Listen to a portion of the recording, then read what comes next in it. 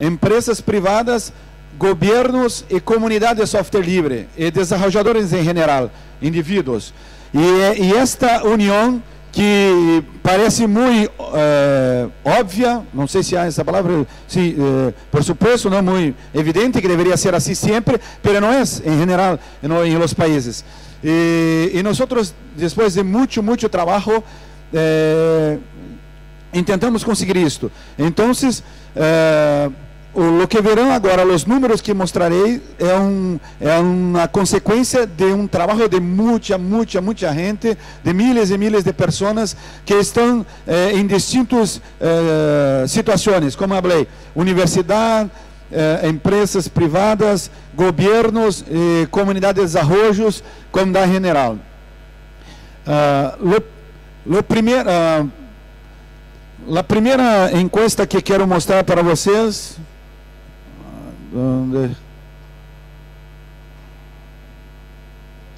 é de las empresas.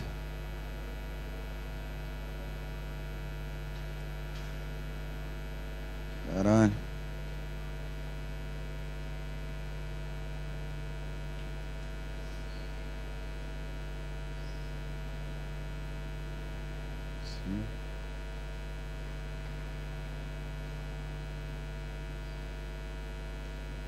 Bueno.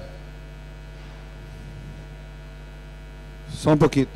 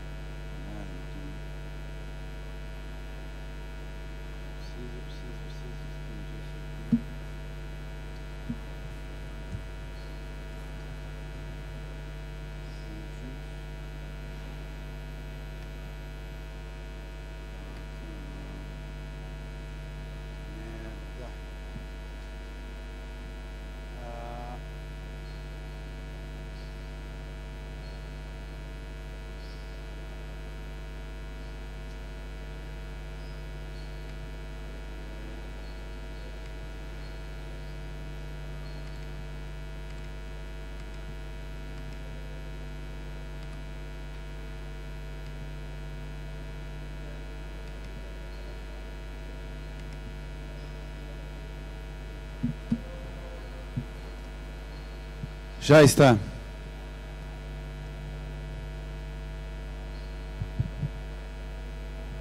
Sim.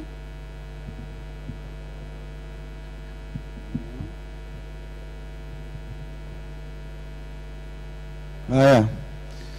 Bueno, essa é uma, uma, encuesta sobre o uso de software livre em empresas, sim, não de governo, é, apenas de empresas privadas em Brasil. Então, eh, há números muito interessantes. Eh, perdão, está em português, mas é possível entender, não? Então, eh, as empresas que foram pesquisadas, a encuesta, manufatura, serviços, governo, finanças, comércio, eh, agricultura, utilidades, educação, óleo, sim? Empresas que utilizam software livre, sim, 59% de todas essas áreas de economia. Adoção de software livre por região de Brasil. Brasil é, um, é, é como México, não? É um pouquinho grande, é um, é um país continente. Então, é, é muito largo e as regiões são, as províncias são muito diferentes. Pero eh, a região sudeste é onde concentra a maior parte da economia do Brasil. Mas é possível notar que a região norte é de Amazônia, né, cercano de Peru e uh, outros países amazônicos, e há muito pouca população e desenvolvimento, mas já há utilização. E as outras também se miram pouco. Acá é possível eh, mirar a utilização em la, área privada de Brasil por, uh, por segmento? Então, se, uh, se percebe que educação em comércio em Brasil é muito grande. É, Carrefour, que acá aí no, lá utiliza software livre, as grandes redes de varejo e, e comércio em geral, bueno, e essas outras áreas acá.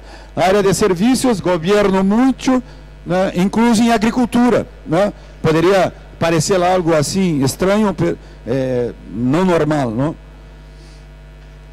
Acá uma ideia de, la adoção em função do número de, de empregados, não de funcionários, trabalhadores, por tamanho de empresas. Lo, lo que se percebe é que as empresas eh, maiores, não, com mais trabalhadores, utilizam intensamente. E as pequenas e medianas estão começando. Em geral, em, eh, utilizam menos porque não há eh, conhecimento local. Não? Se percebe em Brasil que há um espaço muito grande para trabalho, para eh, negócios, para trabalhos de economia solidária e nesta área.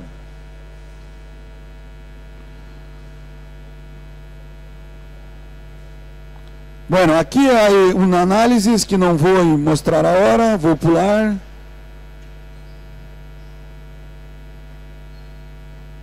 Aqui uma ideia, esta é, do ano passado, ou retrasado, a evolução, não?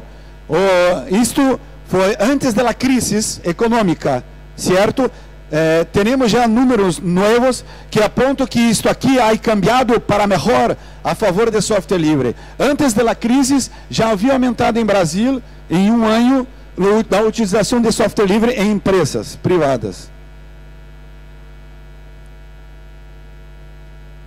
Incluso, bueno, em Brasil também é muito comum em mainframes, não? Para quem trabalha na área, sabe o que é. Os ordenadores de grande porte das né, que é diferente do que usamos acá e, e nas empresas de ambiente web. Né. Bueno, aqui há mais números, muitos números. Deixa eu ver se eu tenho mais alguma coisa.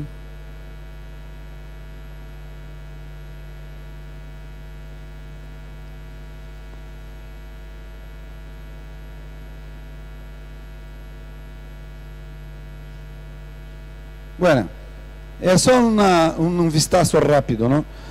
Bueno, eh, agora vou mostrar o que hacemos em governo, sim? Uma encuesta de governo brasileiro.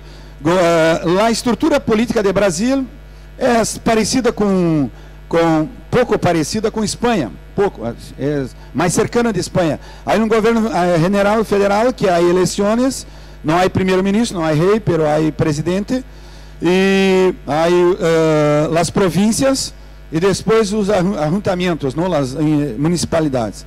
Então, o que mostrarei é uma visão general de governo federal.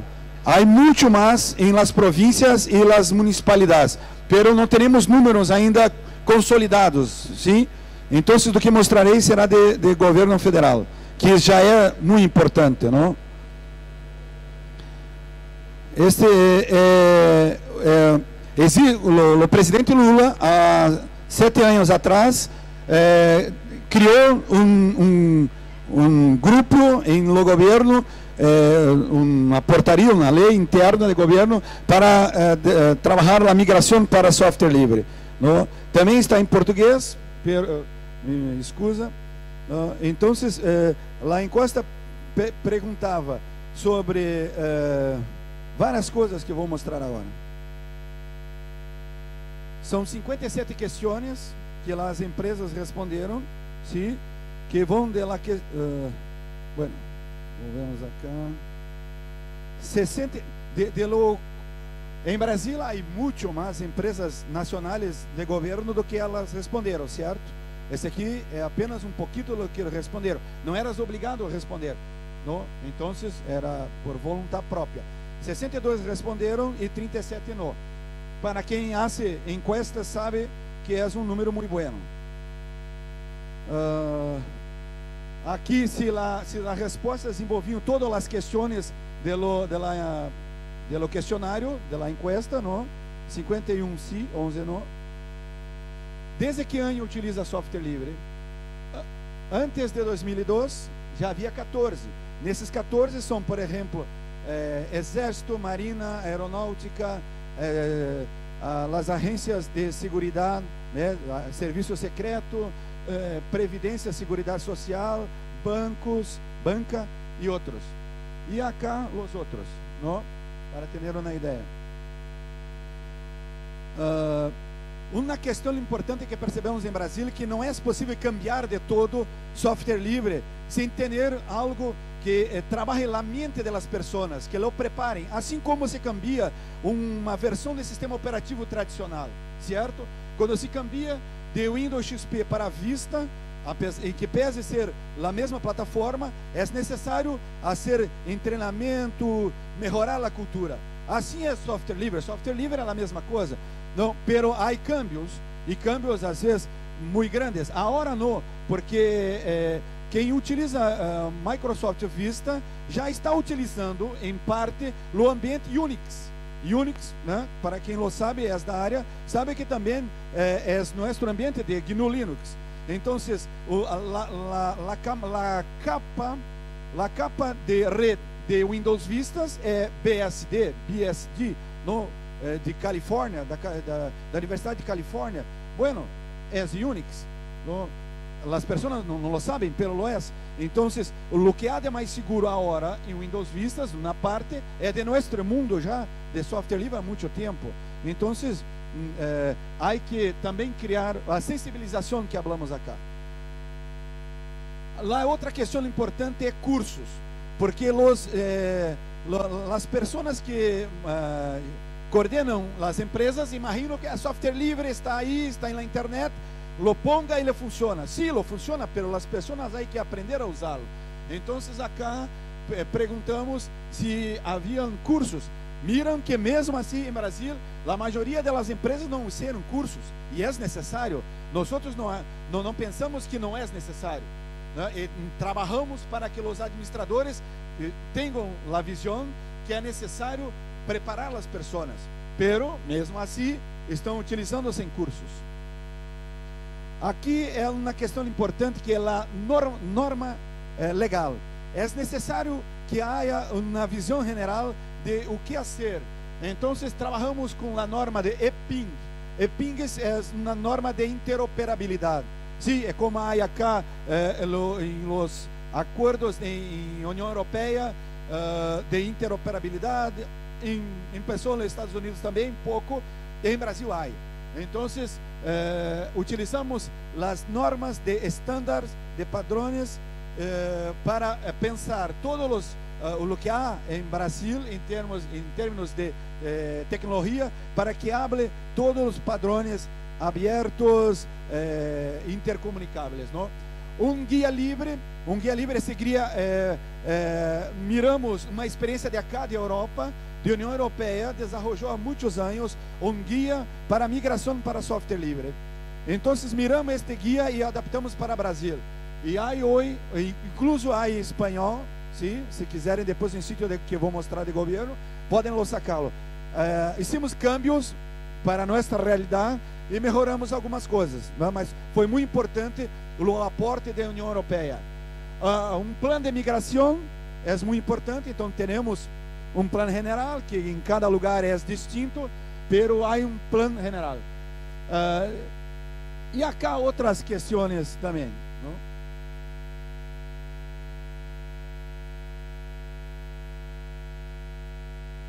Sim.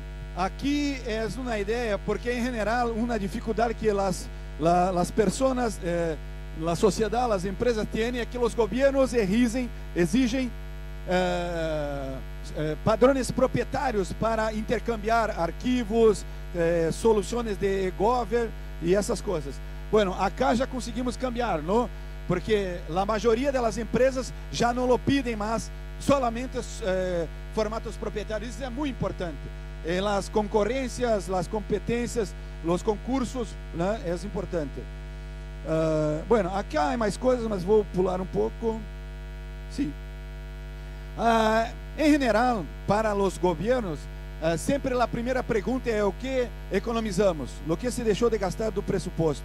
Não é para nós de comunidade a melhor colocação, porque queremos que economize de uma parte, pero que invistam mais em la comunidade local, as empresas, as universidades. Pero é um número importante porque uh, as pessoas quando miram isso percebem que é possível fazer coisas, não? Então, 42 empresas há eh, eh, feito encuestas sobre o que economizou. E acá está o número. Isto em euro é algo como é pouco ainda, 150 milhões de euro. Não, não é muito para nós outros, pelo menos, pelo menos em Brasil, porque a, a, a economia é maior do que isto. Pero eh, para ter uma ideia, são 144 mil estações de trabalho bajo GNU Linux, solamente software livre, estações. Uh, uh, há muito mais milhões, milhões, só onde eu trabalho são eh, 50 mil ordenadores eh, que ainda não há cambiado para software livre na estação, é, é, software proprietário. Pela a, a, arriba corre software livre tudo, não? E são 54 mil ordenadores. Bueno, essa é a, é a encuesta de governo. E agora eh, quero mostrar também uh, um trabalho muito interessante que há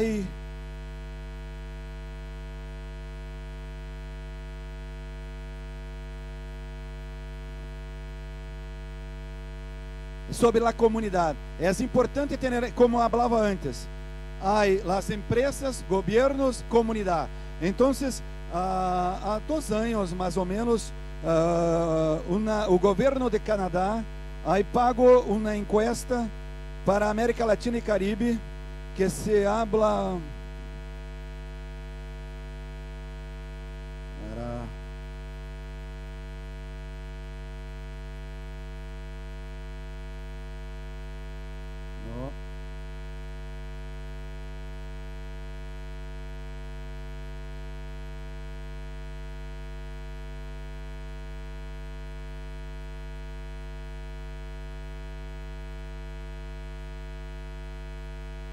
que, se, é, que intentou pesquisar sobre o que ocorre em, em las comunidades de, de, de, de acá, né, de Latinoamérica e Caribe.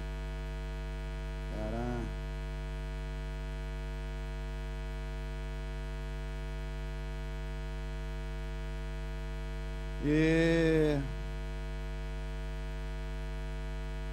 acá.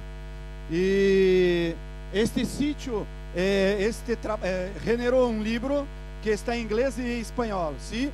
E muito, muito interessante. O mais interessante eh, ainda é lo, todos os arquivos, las, das charlas, as uh, entrevistas, no, está acá.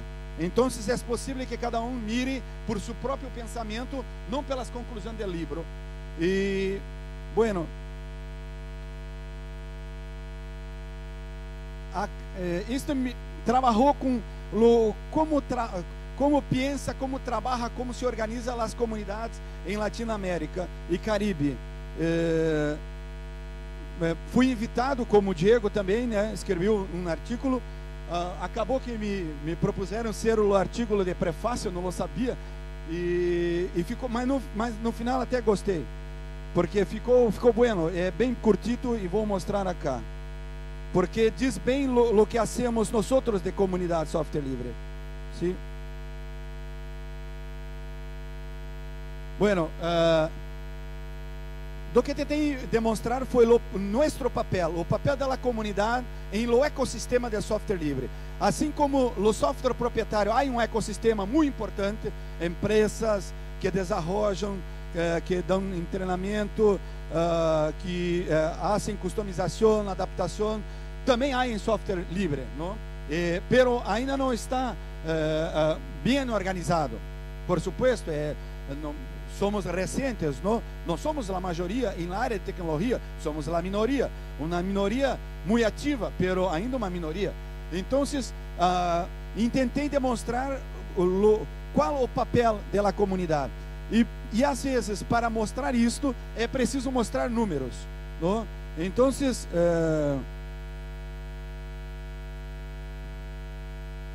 Acá é muito interessante porque há um, um, um maestro, é, sim, um professor acá de Espanha, de Madrid, que é Javier Bustamante. Ele é um filósofo e astrônomo, pero amante de software livre. E o que, o que lhe tocava era tentar entender o que hacemos acá já foi, já, já participou em Campus Party Brasil, conhece Campus Party aqui, e, e eu saquei é, de, de, um trabalho sul, seu, é, um conjunto de ideias que ele tenta explicar por que nós outros compartimos, por que nós outros nos donamos, hacemos coisas juntos e não aislado. Muito interessante. Mirem isso que não falarei muito sobre isso, pero está é, ali. E o que o que importa são duas coisas. É, de outra persona, César Taurião de Brasil, é, ele demonstrou num trabalho seu, seu é, esta parte aqui que é interessante, que eu, eu trabalhei assim. Uma coisa é o que nos move, né? a filosofia, a, questão psicológica, a motivação. E o outro, o resultado para as pessoas normais que estão fora de acá. Então, eu coloquei isto. É, este, esta persona é um, um estudo sobre se calculássemos quanto custa o desenvolvimento de, uma, de qualquer coisa tradicional. É, neste caso, é, ele mirou na época, né, lo, lo quanto custava uh, desenvolver uma distribuição livre. Red Hat, né? quem conhece Fedora hoje, Red Hat também, corporativo na época, 30 milhões de linha de código. Né? E que custaria mais de mil milhões de dólares para desenvolver e necessitaria mais de 8 mil desenvolvedores ao ano. E, e, por supuesto, Red Hat não há tenido tanto dinheiro nem tantos desenvolvedores su.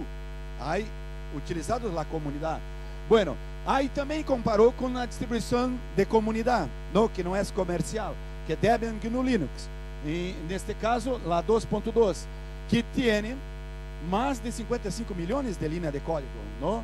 Ah, quase o dobro de Red Hat. E, bueno, custaria um 1.900 milhões de dólares para pagar 14 mil desenvolvedores no mundo. E comparou com Microsoft.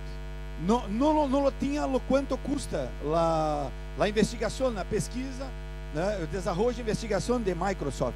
Não tinha. Pero tinha o número da linha de código, que era o que interessava para ter uma referência.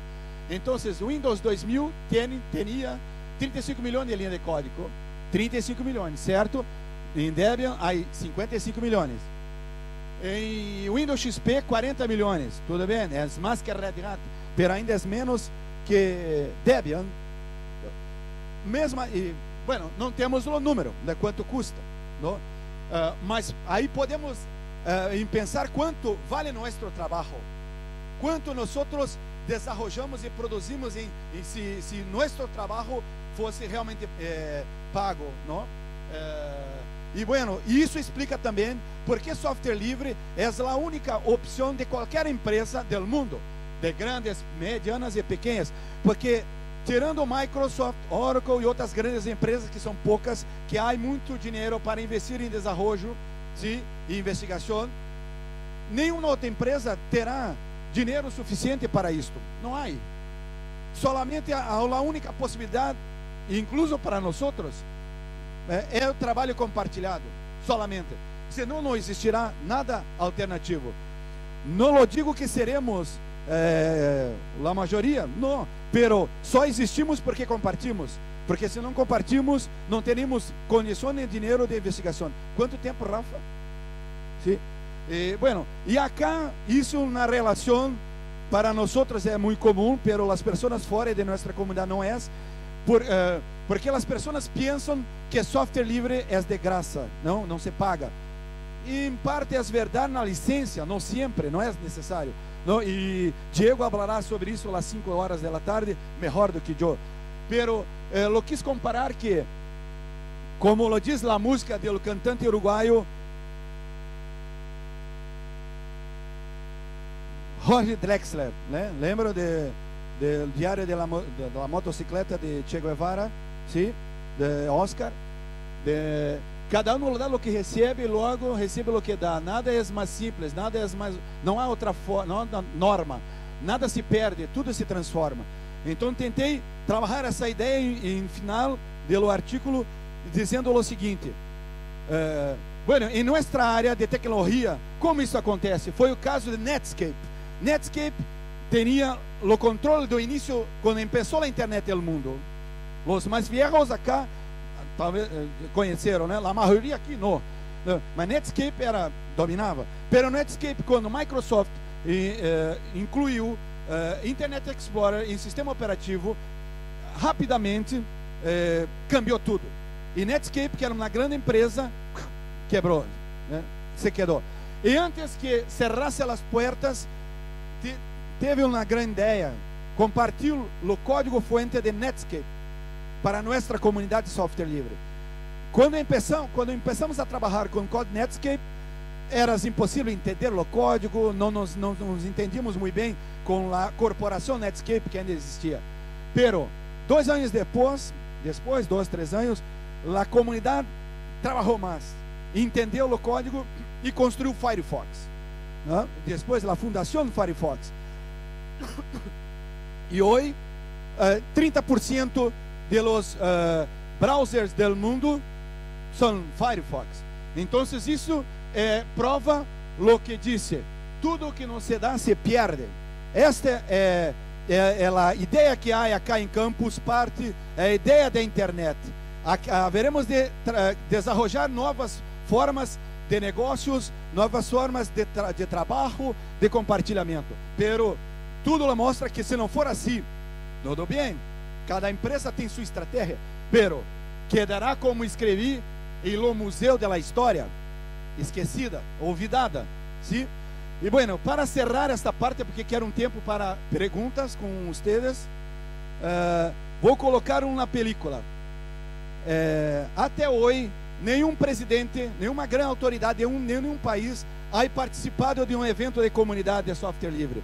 Pero em Brasília este ano, o presidente Lula participou eh, de nosso evento. ¿sí?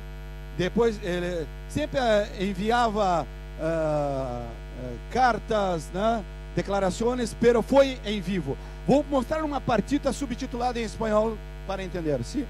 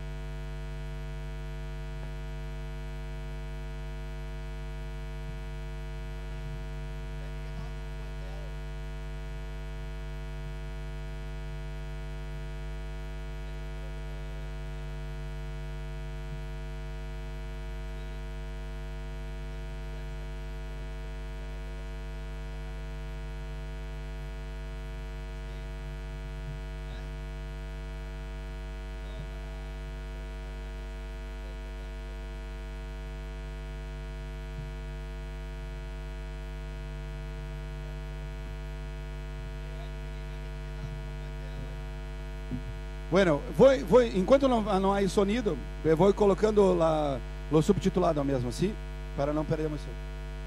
Sim.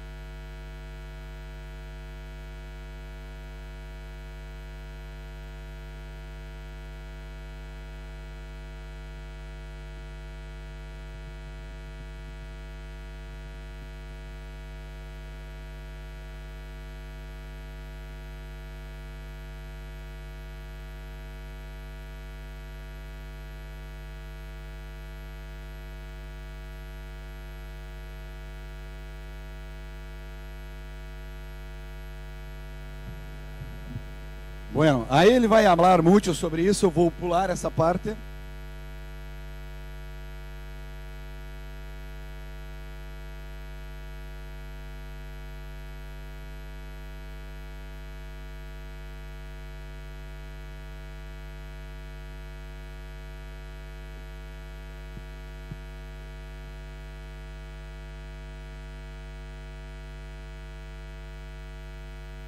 Essa é a parte final. Aqui falava sobre uma coordenação de, so, de inclusão digital. Não, não há sonido, não.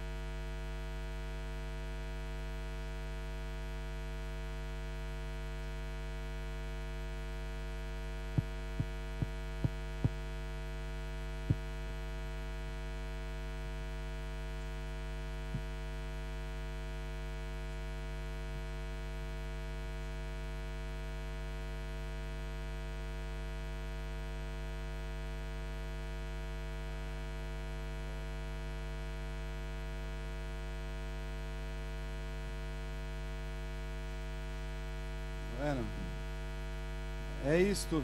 Vamos às perguntas. Se não perguntar, eu vou falar até amanhã.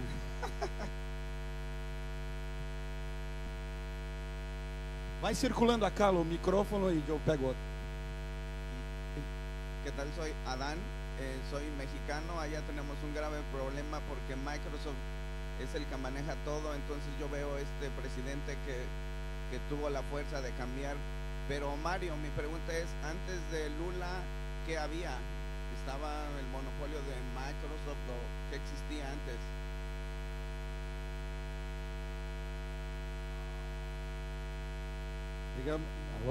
digamos, assim, é natural que haya eh, muitas tecnologias e como falei, a nossa não é a maioria. Eh, e hoje, em Brasil, continua sendo a maioria o software proprietário, não? O que há é um cambio de direção que pode também cambiar depois de Lula. E, pero do que tentei demonstrar que na sociedade, independente do governo, há a utilização, não?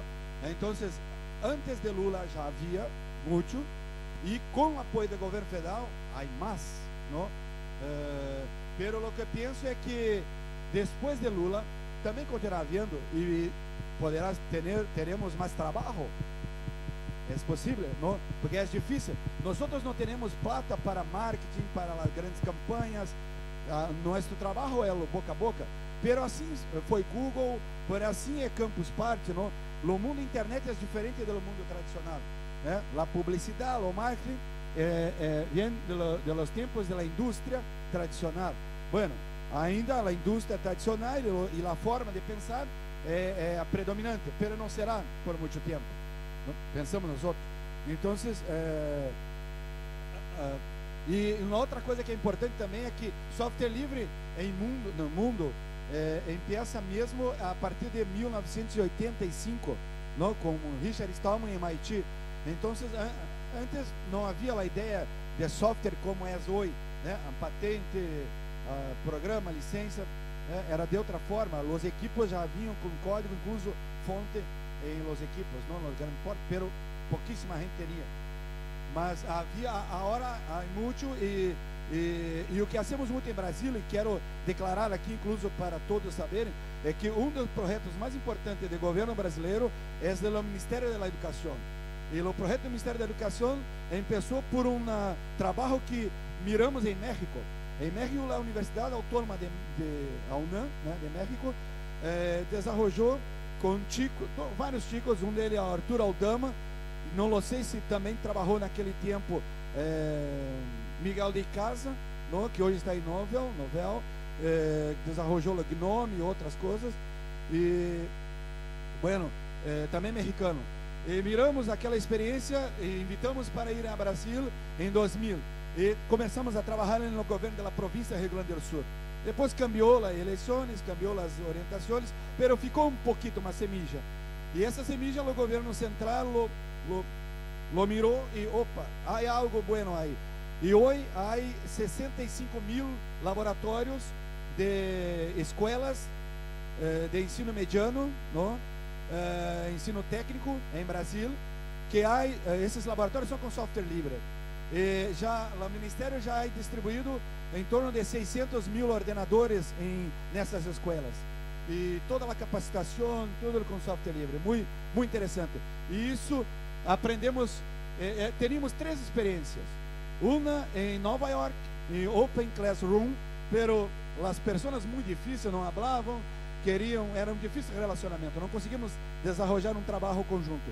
Uma outra na Alemanha, uh, muito interessante, pero muito distinta, eram para imigrantes turcos em Alemanha, que há muitos, não? Vocês devem conhecer acá. E depois em México, que era muito, muito interessante para nós outros. Cambiamos a estrutura técnica, mas miramos a filosofia. E hoje é, é, estamos formando miles e miles e miles de estudantes com barro a tecnologia livre. Isso permitirá que todo aquelas, aquele mercado que está se construindo, as empresas privadas que eu mostrei na primeira encuesta, eh, é, terá profissionais, trabalhadores, eh, cooperativas, empresas, o que seja. Eh, sim, outra pergunta.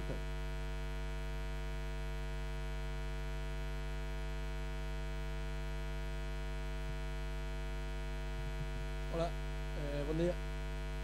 Mi pregunta era referida al proyecto que está llevando a cabo el gobierno de Lula para dar ordenadores de bajo coste que utilizan software libre en los, en los colegios, porque creo que lo más importante es que los niños no utilicen Windows desde pequeños porque es un problema de comodidad. Te acostumbras al software privativo y después no quieres cambiar, que es realmente lo que pasa aquí, ¿no? en el Estado español, por ejemplo. Obrigado. Sí, y muy importante tu pregunta. Antes de la crisis, o governo ha discutido uma questão. Vamos aportar dinheiro público para uh, cambiar a planta de, da, da, indústria de ordenadores em Brasil. E havia duas opiniões. Aqui Lula falou manter eh, software tradicional e apoiar livre também, ou as duas coisas. Pero o governo disse: não, com dinheiro público, com o imposto que há das pessoas, apoiaremos apenas software livre. E as grandes empresas de software proprietário podem participar do programa, pero há que tirar de sua mais-valia, de seu lucro, uh, uh, o que se quer. ¿sí? Bueno, as empresas não quiseram participar. Eh, eh, acreditaram que o projeto seria uma desgraça. O nome do programa era Ordenadores para Todos. ¿sí? E que não era só para ninhos nem maestros, era para toda a população. Bueno, o que aconteceu é que o PIB, o Produto Interno Bruto de Brasil, neste ano que hablo, cresceu 6%. 6%. O que hizo uh, subir arriba o PIB foi a indústria, não serviços, não agricultura. Na indústria, o que empurrou a indústria foi a indústria de ordenadores. E o que puxou a indústria de ordenadores? Software livre. Porque não se vendeu somente software livre, se vendeu software livre e software proprietário. As empresas de software proprietário tiveram pela primeira vez em Brasil concorrência, disputa comercial. Então tiveram que, eh, que eh, barrar os preços. Isso foi bom para as pessoas. Então software livre ajudou de duas formas. A quem queria ou não conhecia software livre, porque pode utilizá-lo, e para quem queria e lhe gostava software proprietário, pode pagar menos, não? Então, sobre qualquer hipótese, foi boa a opção. E imaginas em, em Espanha ou em qualquer país. Hoje, a indústria de eletroeletrônicos é muito, muito importante. Agora, em Brasil, desenvolvemos o padrão da televisão digital brasileira, que é uma combinação diferente do padrão europeu, japonês ou americano. Nosso padrão intercambia com os três. Havia um lobby muito grande das empresas europeias para que adotássemos o padrão europeu. Não adotamos. Uh, havia um lobby muito grande americano, tampouco. E japonês, um pouquinho. Adotamos apenas uma parte do padrão japonês que nos interessava, que neste caso, no padrão japonês é o mais avançado. Não era. O primeiro padrão japonês era muito retrasado, pero lo cambiaram e a parte eh, estándar que estão nos padrões internacionais, uma partecita, nós outros ah, eh, hicimos acordo com o Japão. E o resto cambiamos e utilizamos um software que hablamos Jinga, Jinga de capoeira, sim? Jinga de eh, mexer os quadrilhos, de luta. Bueno, esse é um software livre, totalmente livre. E o incluso mais interessante é que agora a União Europeia ha invitado os eh, pesquisadores brasileiros. Por quê? Porque a Europa, depois de pagar muito para o consórcio de desenvolvedores de, de, de, da TV digital europeia, han descobrido que a empresa que lo recebeu o dinheiro, pelo que se habla em Brasil, também agora quer cobrar royalties por, por uso de cada um de vocês acá. Então, bueno, já é pago. Então, por que ah, sim, mas a União Europeia não é percebido que a, a, teria que firmar algo como que o software é pelo menos de cidadania europeia, não? que os europeus não pagassem. Bueno, não hicieron. Agora o que, o que estão fazendo, invitaram o Brasil. Não, mira, queremos mirar o que estão sendo vocês, porque este software Jinga intercambia com o padrão japonês, americano e europeu. E por primeira vez agora uh, temos um padrão estándar brasileiro internacional, porque a uh, ITU, eh, da agência da ONU para telecomunicações, ha definido o Jinga como middleware padrão internacional para a TV digital. Não quer dizer que todos vão usar, quer dizer que é possível usar e criar um padrão internacional. Não se querem. Bueno, eh, eh, já temos em Brasil interatividade pequena, pero já temos mais que acá. E começamos há dois, três anos a, a, a colocar em produção. Eh, em Japão não teria a interatividade que temos nós quando hacemos eh, feiras de, eh, de televisão em Brasil. Ah, ano passado participei de uma em São Paulo e os japoneses, nossa, como fizeram isto? Pegaram nossa tecnologia e fizeram mais. E agora levaram para Japão, por quê? Porque é livre, não pagarão royalties. Bueno, não há por que pagar, não queremos, queremos compartilhar. Haveremos achar uma forma de fazer negócios de outra forma.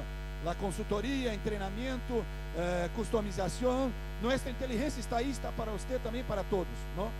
E sim, e sobre o projeto de, de los eh, hacemos então ordenadores para todos, sim.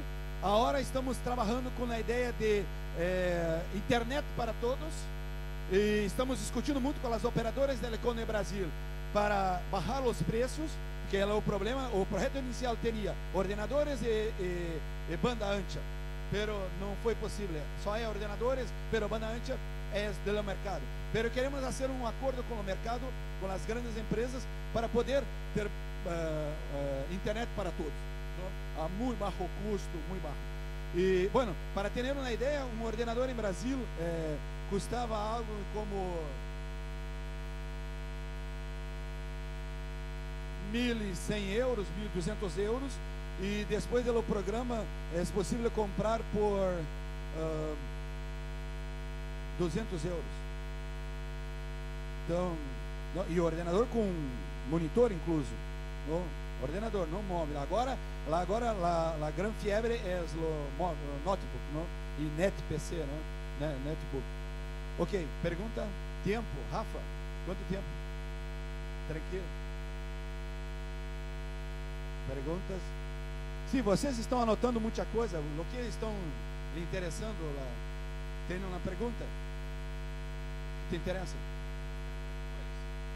Ah, sim, perfeito. Sim. En, en, tu opinión, ¿qué papel está jugando ahora mismo el software libre para la, para la inclusión digital, para la generalización de, de Internet en, en, Brasil y qué, qué, puede jugar? Grande pergunta, esqueci de uma encuesta. Sim, é, em Campus Party Iberoamérica, uh, que ocorreu em El Salvador, na cumbre de América, eh, Espanha, né, Iberoamérica. Eh, cerrou tempo? Ah, bueno, eh, te hablo depois, pero é muito importante. O, esta, esta pesquisa, tenho aqui a direção de mostrarei depois. Deixarei um CD com todas as encuestas que tenho, os vídeos e as direções web, ok? Para, para quem quiser mirar mais e deixarei com a organização. E sobre isso é muito importante. Lá a encuesta diz o seguinte: é, é, é os países do mundo, por exemplo, Irlanda, eh, Coreia do Sul, só cambiaram sua economia porque cambiaram para novas tecnologias. Pero ao hoje, para cambiar para nova tecnologia, o que dizemos nós outros, só é possível com software livre. Porque se a Espanha ou qualquer país europeu ou americano, os Estados Unidos já percebeu isso e já começa a cambiar. Se tem que pagar patente, licença, não é possível mais. Esse modelo é eh, falido. Então, software livre é uma possibilidade disso. Por isso, o título da charla, né? uma chance para o Brasil. Ok? Graças, vale. Hay que notar charla. Siento haber cortado a Mario. Ahora tenemos una mesa redonda sobre